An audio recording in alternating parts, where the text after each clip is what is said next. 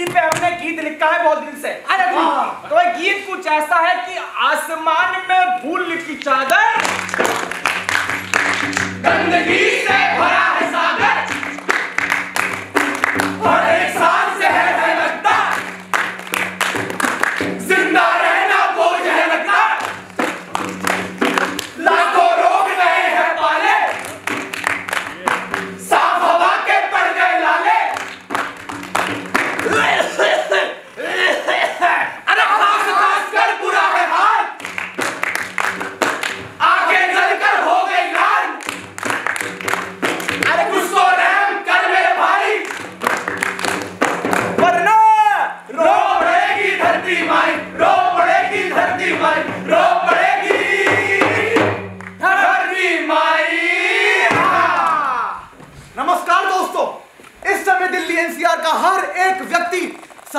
साफ़ हवा के लिए तड़प रहा है।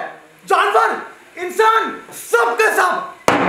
दोस्तों, हम अपने अधिकार तो बड़े जानते हैं, लेकिन जैसे ही बात हमारी जिम्मेदारियों पे आती है, हम अपने कर्तव्यों से ऐसे भागते हैं, जैसे धरती पर केवल स्वर्ग भोगने आए हों, और आने वाली पीढ़ी को नर्क की सजा देनी हो। आइए, आपको आईना दिखलाते हैं, और उम्मीद करते हैं कि अपना ये भयंकर रूप देखकर आप ये बात समझ ले कि अगर सांस लेना हक है तो उसे साफ़ रखना हमारी ज़िम्मेदारी अरे भैया चप्पल लगा जरा जी भैया लगा रहे हैं भैया हाँ एक बात बताएँ हाँ ये पोल्यूशन ने बहुत ही दिमाग खराब कर दिया है एक तो सांस समझे नहीं ली जाती भैया बिल्कुल ठीक कह रहे हो बिल्कुल ठीक अरे भैया आपका इस पोल्यूशन के चक्कर में सर में दर्द रहता है रहता कि नहीं रहता ऊपर से फेफड़े इधर बड़े फटके बाहर आ जाएँगे यार ए भैया ये जो आप सिगरेट पी रहे हैं और इससे जो पोल्यूशन हो रहा है उसका क्या इससे हाँ इस इस सिगरेट से अरे, इससे कौन सा आसमान काला हो रहा है हो रहा है कि नहीं ना चलता है अरे राम बचा ऐसी ज़िंदगी से एक तो घर में चूल्हे का काजवा बदन में घुसता है और ऊपर से बाहर तुम्हारी फटफटी ने आसमान में धुएँ के बादल बना रखे हैं सर्विसिंग क्यों नहीं कराते इसकी सर्विसिंग क्यों नहीं कराते इसकी है अरे तुम्हारी विस्फोटक बातों से तो कम दुआ करती है बेचारी और वैसे भी ये सर्विसिंग वर्विसिंग के पैसे नहीं है मेरे पास। और इतना ज़्यादा धुआँ करती है इतना चलता है। अरे बिल्डर साहब जरा सुनिए। अरे कंस्ट्रक्शन का काम तो मना है ना? बढ़ते प्रदूषण की वजह से। लेबरों का भी खास खास कर बुरा हाल हो रखा है। अगर आप कहें तो काम जारी रखें कि रुकवा दें हैं? रुकवा दे। हाँ, बुढ़वा इधर आओ इधर आओ इधर आओ इधर आओ एक बात बताओ कि अगर काम जारी रहेगा तो देश का विकास होगा, देश का विकास होगा तो हमारा विकास होगा, हमारा विकास होगा तो तुम्हारा भी तो विकास होगा। और वैसे भी तुम देश की आर्थिक विकास के आड़े आ सकते हो। नहीं ना, इतना चलता है। इतना चलता है? जी हाँ बिल्कुल, इतना चलता है। अरे फैक्ट्रियों से काला धुआँ निकले, इतना चलता है। भाई कंस्ट्रक्शन साइट से धूल उड़े, इतना चलता है। अरे भाई ट्रांसपोर्टेशन से प्रदूषण हो, इतना चलता है। मगर ये सब अगर ऐसे ही चलता है ना तो हम कब तक चलेंगे? उसका कोई हिसाब नहीं। तो दोस्तों, हमें बात समझनी होगी कि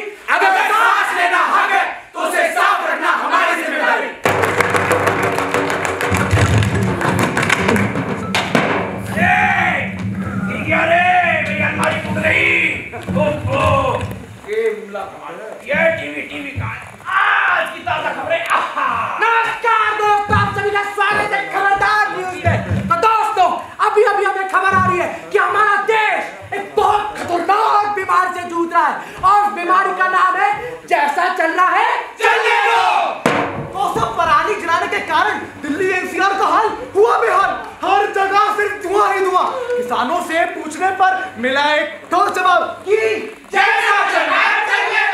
दोस्तों माना जा रहा है कि सबसे ज़्यादा प्रदूषण इंडस्ट्रियाज फैला रही है। तो उनके यहाँ लगी हुई चिमनियों का जो हुआ तो पता चला कि सारे के सारे खराब हैं।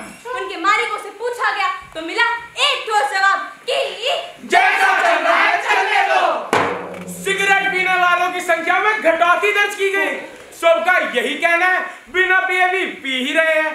टोबैको इंडस्ट्री से पूछा तो मिला एक ठोस जवाब कि जैसा चलना है चलने दो अस्पतालों के बाहर लगी लंबी कतार लंग पेशेंट्स ने रख दी अपनी किडनी तक उधार डॉक्टरों से पूछने पर मिला एक ठोस जवाब कि जैसा चलना है चलने दो दोस्तों एक बड़ा ही दर्दनाक आंकड़ा सामने आया दिवाली के अगले दिन कई जानवरों को मरा हुआ पाया लोकल अथॉरिटी से पूछने पर मिला एक ठोस जवाब कि जैसा चलना है चलने दो अच्छा हुआ, मैं बाहर ना जा सका।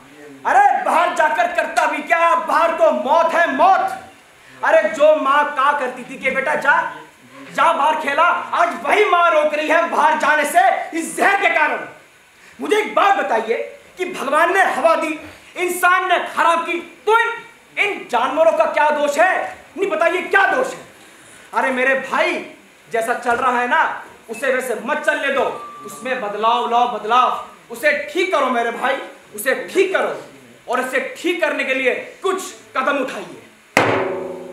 घर को हवादार रखिए और इस प्रकृति की सुंदरता का स्वाद चखिए।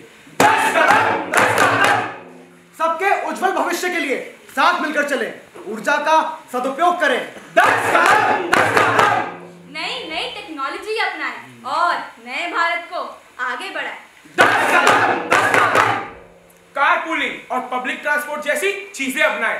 इस धरती को फिर से स्वर्ग बनाएँ। प्लास्टिक को करें ना नए रास्ते अपनाइए। अरे रिसाइकल को करें हाँ। अपना लाइफ स्पैन बढ़ाइए। कूड़ा ना खुद जलाएँ ना जलाने दे। अपनी सच्चाई को अपनाएँ अब और न बहाने दें।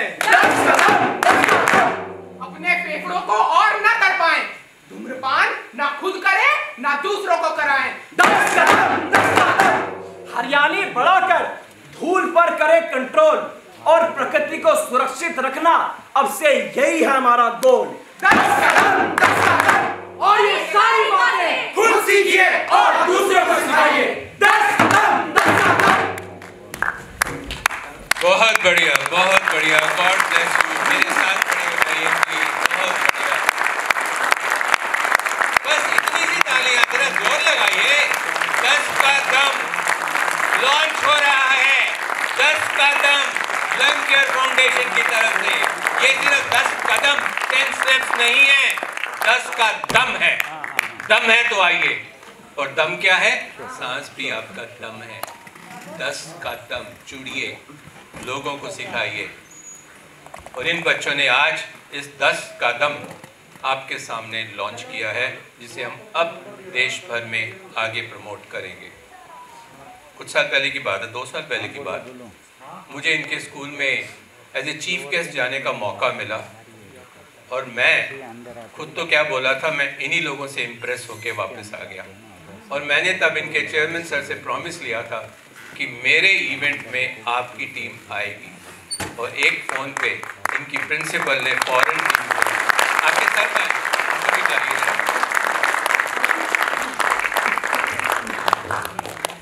तो खास तौर से जो देवशी सर और मज़े की बात यह है। कोविड प्रोटोकॉल का ध्यान रखते हुए ये पूरा टीम वर्क इन्होंने घर बैठ के ऑनलाइन प्रैक्टिस किया है और यहाँ एग्जीक्यूट किया है। ये रास्ता दिखा रहे हैं दस का दम फिर हम बाहर निकल के भूल जाएँगे तो फिर हम नहीं है कोई दम। और आप ये दस साल की बातें छोड़ दीजिए। ये दस कदम आज से शुरू करना पड़ेगा सबको। नहीं है दम तो छोड़ दीजिए, बातें मत कीजिए। बिकॉज़ ये व्हाट्सएप पे चैट और drawing room discussion over some other drinks doesn't work in India काम है, दम है, आइए दस कदम लेके चलिए। खास तौर से शुक्रिया अदा करना चाहूँगा इनके चेयरमैन मिस्टर राकेश खुल्लर का, इनकी डायरेक्टर डॉक्टर मृगनायनी जी का और इनकी प्रिंसिपल सीमा जायर जी का to send all this wonderful kids with us please give them a round of applause